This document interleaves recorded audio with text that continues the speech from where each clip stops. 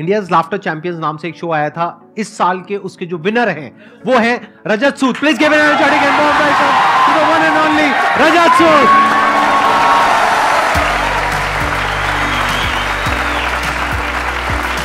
क्या हालचाल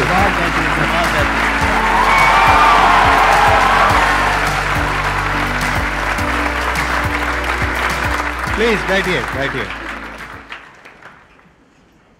मैंने देखा आपकी जितनी भी वीडियोस हैं जी सर सारी वीडियोस में आप अपने दिल टूटने की बातें करते हो। तो क्या ये सच है या झूठ है? मतलब एक्चुअल में टूटा है आपका दिल? इतना इतना झूठ कैसे ही बोलेगा इंसान? बहुत हाई लेवल के दिल जले हैं ये। तो कितने टाइम चला था आपका अफेयर थोड़ा सा कुछ बताएँगे उसके बारे में जितना बता सकते हो सर मतलब मेरी तरफ़ से लंबा था उसकी तरफ़ से छोटा था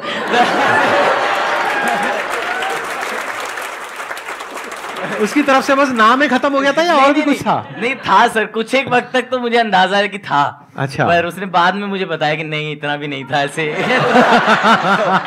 तो मैं बस उसी मतलब ब्लड विजन में हाँ। जीता रहा। ये बेसिकली कॉमेडियन नहीं है ये कॉमेडी करते हैं। आप में से कितने लोगों को पता है ये बात?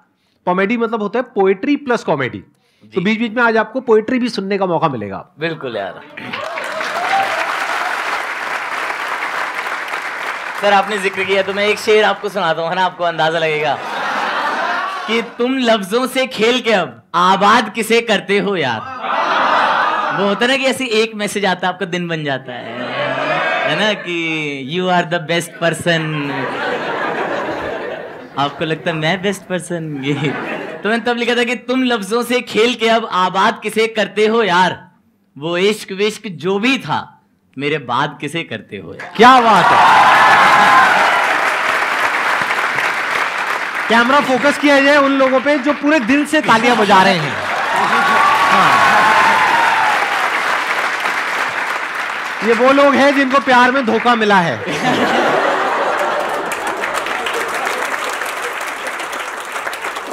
एक और मैं आपको सुनाता हूँ मतलब यही इसी का, इसी गज़ल का अगला शेर था कि, तुम लफ्जों से खेल के अब आबाद किसे करते हो यार? है ना, इस शेर पे अगर आपने ताली बजाई तो मेरे ख्याल अगले शेर पे आप छाती बजा दोगे। ये, कि तुम लफ्जों से खेल के अब आबाद किसे करते हो यार? वो इश्क विश्क जो भी था, मेरे बाद किसे करते हो यार? और एक सवाल हर एक दिन हर पल दिल पर दस्तक देता है। तुम अरिजीत को सुनते हो तो याद किसे करते हो यार?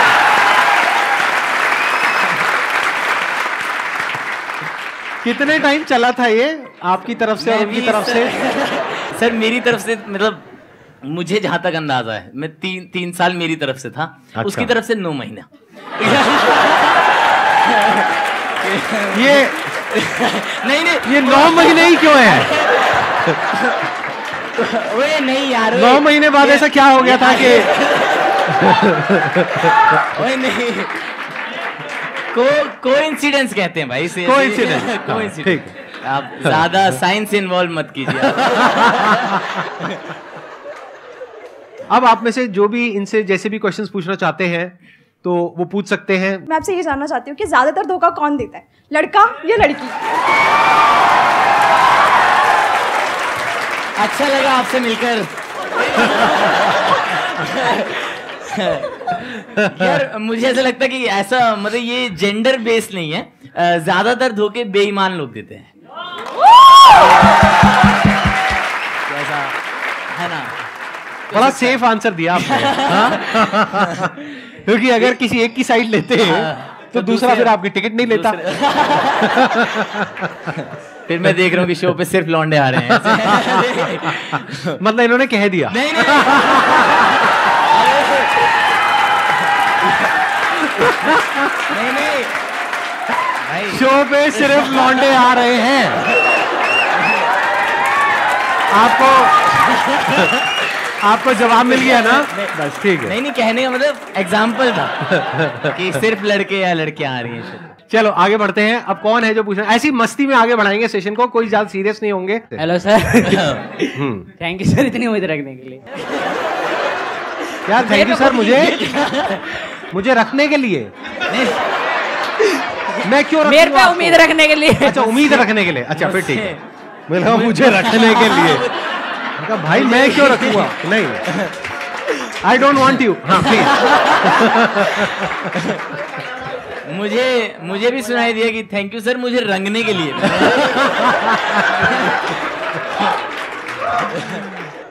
अच्छा मेरा सवाल ये था। जी। जैसा वो देखते हो या देखता हो क्या देखता हूँ? आप? ये वो सुनने तो दो सवाल तो सुनने तो हाँ। कि जिसके ऊपर आपने लिखी है इतनी अच्छा चीज़ें। अच्छा हाँ। तो अब उसके दिल पे क्या बीतता होगा? अच्छा अच्छा। तो अब आपको कितना अच्छा लगता होगा?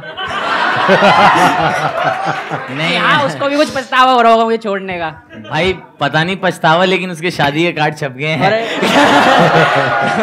नहीं ऐसा कुछ नहीं यार मतलब मेरे को पता नहीं कि मेरा मोटिव ये है भी नहीं सर कि किसी को पछतावा हो या मतलब किसी को एहसास हो। मेरा मोटिव ये था कि जब मैं एक चीज़ से गुजर रहा था मतलब मेरा इमोशन था सर तो मुझे उससे डील करना नहीं आ रहा था। But I am very blessed कि मुझे लिखावट मिली मुझे शायरी मिली और मुझे मतलब जोक राइटिंग की एक आर्ट मिला जिसके ज़रिए मैं अपने वो एक्सप्रेशन को अ, मतलब बाहर कर पाया। सो so दैट वो मेरे अंदर अंदर नहीं हुआ कि मैं घुटा नहीं यार है ना? तो मैं इस पर जोक बना के हंस लेता हूँ अंदर से तो दुखी था मैं। हेलो सर सर अभी आपने बताया कि जिनसे आपका ब्रेकअप हुआ तो उनकी शादी के कार्ड छप गए हैं। तो सर आपको पता है तो क्या उनकी शादी का कार्ड आपको भी आया है? आपको कैसे पता? हाँ। जनता जानना चाहती है। देखो मुझे ऐसा लगता है सचिन तेंदुलकर ने क्रिकेट खेलना छोड़ दिया है। इसका मतलब ये नहीं है कि वो मैच टीम की खबर नहीं रखते।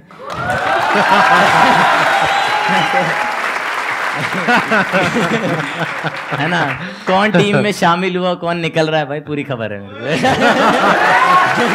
थैंक यू सर मैं ये पूछना चाहता हूँ कि मैं डिफ्रेंशिएट कैसे करूँ कि वो हंस के देख रही है या देख के हंस रही है? क्योंकि सर इसमें बहुत कंफ्यूजन होती है। सही सवाल है। ऐसा कुछ हुआ भी आपके साथ में यहाँ पे जब से आए हो सुबह से?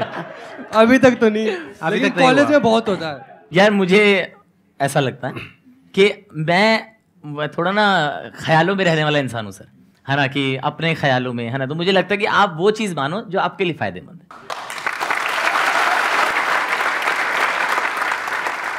क्वेश्चन ये था कि दिल टूटने से पहले आप इतने बड़े वो थे कि दिल टूटने के बाद? इतने बड़े वो?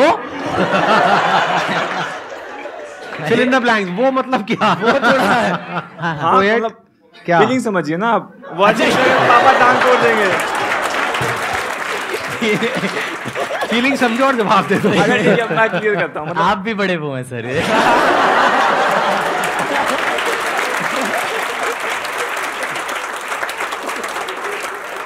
याद है कि स्कूल के एनुअल डे पर ऐसा होता था कि एक मैंडेटरी था कि हर बच्चे को किसी ना किसी चीज़ में पार्टिसिपेट करना।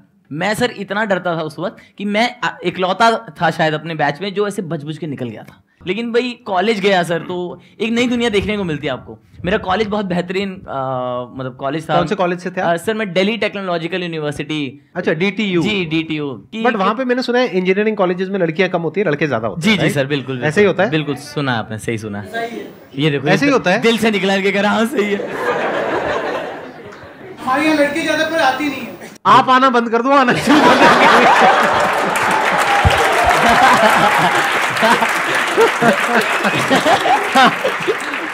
आगे बढ़ते हैं। तो हाँ फिर कॉलेज में जब मैं गया ना सर तो वहाँ मैंने देखा ऐसे कॉलेज का first first week of college था। तो वो होता है ना ओरिएंटेशन जिसमें कि कॉलेज के सीनियर स्कूल बन जाते हैं एकदम से। कह रहे ये we are in this college हाँ ना मास बंक करेंगे ऐसे हमें गाइड कर रहे हैं। तो उसमें सर मतलब वो था कल्चरल परफॉर्मेंसेस थी। तो उसमें एक हमारे सीनियर आए थे और वो परफॉर्म कर रहे थे। तो मैंने उनको देखा सर वो ना बीट बॉक्सर थे। तो बीट बॉक्सिंग पता आप लोगों को? वो होता ना वो जो माइक पे से ये कर हाँ, तो सर वो आए स्टेज पे और मैं मतलब first week of college under confidence सा बच्चा ऐसे इतने अच्छे लोगों से मिल रहा हूँ जिनकी इतनी अच्छी अच्छी रैंक्स है ऑल इंडिया में मतलब इतने टैलेंटेड लोग इतने ज़्यादा एजुकेटेड बच्चे। और मैं उनमें बिल्कुल अंडर कॉन्फिडेंस से बैठा हूँ, और एक बंदा आता है, और सिर्फ़ माइक है उसके हाथ में, उसने पूरा माहौल बदल दिया। ऐसे मतलब लोग एकदम इंजॉय करने लगे हैं वेव कर रहे हैं डांस कर रहे हैं, और मेरे को लगा, यार, ये क्या सुपर पावर है यार? कि एक बंदा स्टेज पे खड़ा हुआ और 500 लोग हंस रहे हैं। उनका, मैं बहुत अलग इमोशन में गया था अंदर की, बड़ा डरा डरा सा, मैं एंजॉय कर रहा हूँ एकदम से। तो मुझे लगा, सर, ये कितनी बेहतरीन कला है कि कोई इंसान कुछ पेश कर रहा है मंच पर और बाकी हज़ारों में जनता खुश हो रही है। तो मेरे को था, यार, ये करना है एक दिन यार। तो मैं तब उस दिन ये ख्वाहिश उठी थी सर और वहाँ से मेरा सफ़र शुरू हुआ। सर जैसे आप पोइट्री लिखते हैं मैं भी नाइन्थ क्लास से पोइट्री लिख रही हूँ। बहुत अच्छा। तो नाइन्थ क्लास से मतलब मैंने ट्वेल्थ कर लिया है अच्छा। मैं पोइट्री लिख रही हूँ। तो नाइन्थ क्लास में मुझे बहुत ज़्यादा जोश था उस टाइम पे मतलब कुछ अच्छा। करना है ऐसा कुछ। तो उस टाइम पे मेरी ऐसी पोइट्री निकलती थी। अब मेरी ये लव वाली पोइट्री निकलती है। और अच्छा। कभी कभी ब्रेकअप वाली निकलती है। ठीक है। तो सर ये जॉनरा कैसे चूज़ करें कि हाँ मुझे इस इस चीज़ में मैं बहुत अच्छी पोइट्री लिख लेती हूँ हाँ। तो मुझे इसमें ही चलना है। एक मेरे को लगता है आपको चुनना भी नहीं है क्योंकि आपकी ज़िंदगी में हमेशा अलग अलग दौर रहेंगे आपको हर चीज़ को एक्सप्रेस करना सीखना है। तो अगर आपको जॉनरा एक पे कमांड बनानी है तो वो एक्सप्रेशन पर बनाओ। कि बयां कैसे किया जाता है? अच्छा। फिर चाहे वो कुछ भी बयां करना हो चाहे वो मोहब्बत जो है महबूब के लिए हो चाहे वो अपनी माँ के लिए हो चाहे वो अपने स्कूल के लिए हो चाहे अपने गुरु के लिए हो किसी के लिए भी लेकिन आपको मोहब्बत बयां करनी आनी चाहिए। क्या बात मुझे अ, मुझे भी सर एक शेर याद आया वो होता है ना उस दौर में जब आप आपको लगता है यार आपने किसी से बहुत सच्चा प्यार किया। है ना? और फिर वहाँ पे वर्कआउट नहीं किया या फिर किसी भी वजह से आप साथ नहीं है तो अब आपको लगता है यार अब दोबारा नहीं हो पाएगा यार। है ना? वो वाला इमोशन आ जाता है ना कि अरे यार, हो हो गया भैया हमारा हाँ कि ये अब वापस नहीं आना इस गली में, है ना? तो मैंने तब एक शेर लिखा था कि कभी दिल ही नहीं करता, जरा सा भी नहीं करता। कि कभी दिल ही नहीं करता, जरा सा भी नहीं करता, गया है तू, तभी से मैं मोहब्बत ही नहीं करता।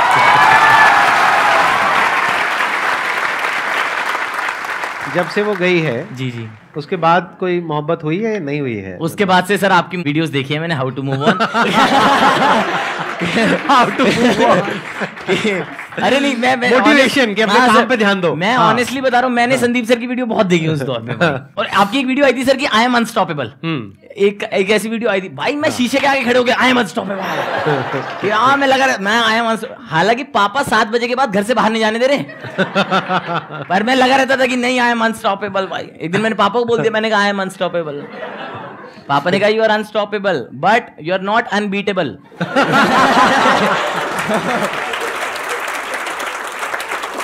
ये यही शेर मैंने तब लिखा था ना कि मूव ऑन कर रहा हूँ सर मैं लेकिन हाँ। वही कोशिशें नाकाम हो रही हैं है ना?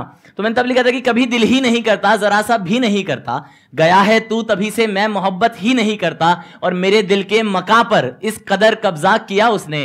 किराया भी नहीं देता वो खाली भी नहीं करता। क्या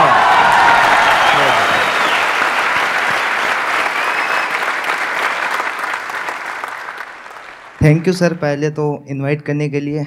और मैं इस सेशन के लिए इटली से आया हूँ। स्पेशल कहाँ से आए हो? इटली इटली से। ओ अरे इटली से। इटली से। आपसे। मिलने के लिए आपका सेशन एक देख मिनट एक मिनट। इटली मतलब दिल्ली वाला या बाहर? यूरोप यूरोप वाला? यूरोप वाला।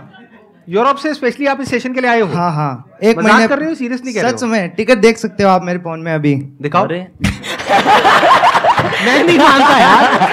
इटली से कौन आता है सेशन के लिए? फ़ोन ऑन हो जाए टिकट दिखा हाँ करो करो ऑन करो दिखाओ। यार मतलब ये तो बहुत बड़ी बात हो गई। बेहतरीन बात है पहली बार ऐसा हुआ है मेरे सेशन में अच्छा। कि कोई कह रहा है कि इटली से स्पेशली आया हूँ मैं इस सेशन के सर नहीं ये कमाई है सर की यार एक बार ताली है। सर के लिए सर क्या मैं आग, आगे आके दिखा सकता हूँ आपको? हाँ हाँ आके दिखाओ ना। थैंक यू अब बच्चे जुगाड़ लगा रहे हैं, कह रहे हैं ये नंबर कमा रहा है। हाथ मिलाओ। मोस्ट वेलकम जाओ बैठो। थैंक यू जी भाई साहब इटली से आने के लिए। प्लीज़ बैठिए। हाँ। अब बताइए कौन है जो कुछ पूछना चाहते हैं या चाहती है? आप कुछ पूछना चाहते थे क्या? हाँ अच्छा, इनको दो अच्छा। माइक दो। मुझे लगा आप बस यही बताना चाहते थे। कि इटली से। मेरा क्वेश्चन सर आपसे ही था। सर आपकी शादी को इतने साल हो गए। हाँ। लेकिन फिर भी आपकी स्माइल पहले जैसी है। इसके पीछे क्या राज है? आपको कैसे पता पहले मेरी स्माइल कैसी थी? नहीं नहीं। मैंने जब सेमिनार शुरू करे दस साल पहले तब तक मेरी शादी हो चुकी थी। सर ने इनडायरेक्टली कह दिया कि पहले ऐसी नहीं थी।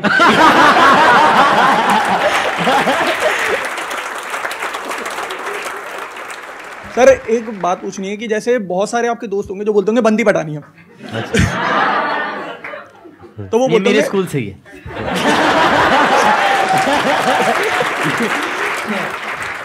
तो बोलते होंगे शायरी वायरी गाता है तो भाई एक बता कि जो पॉइंट पॉइंट मारे और सेट हो जाए। हाँ हाँ हाँ। एक बताओ फिर। ये अच्छा।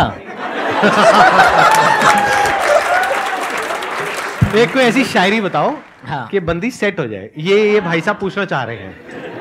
पहले तो ये बताओ ऐसी कोई शायरी होती है? आज तक इनसे नहीं हुई आपसे क्या होगी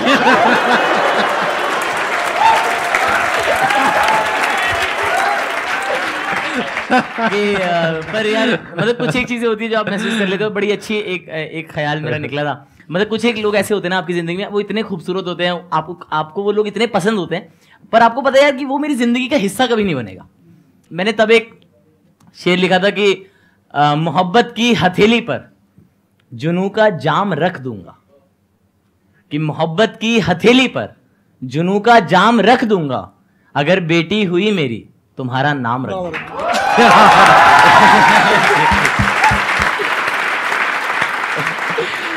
मत सुनाना जूते पड़ेंगे। पहले ही बता रहा हूँ। और यहाँ पे तो किसी लड़की को बिल्कुल मत सुनाना। बाहर बाउंसर्स भी हैं ठीक है? तो संभल के दोस्त संभल के। हर बात पे अमल नहीं किया जाता। है thank you so much for coming Rajat so मुझे बहुत मज़ा आया आपसे इंटरेक्ट करके। आई एम श्योर आप लोगों को भी मज़ा आया होगा। यस नो हाँ।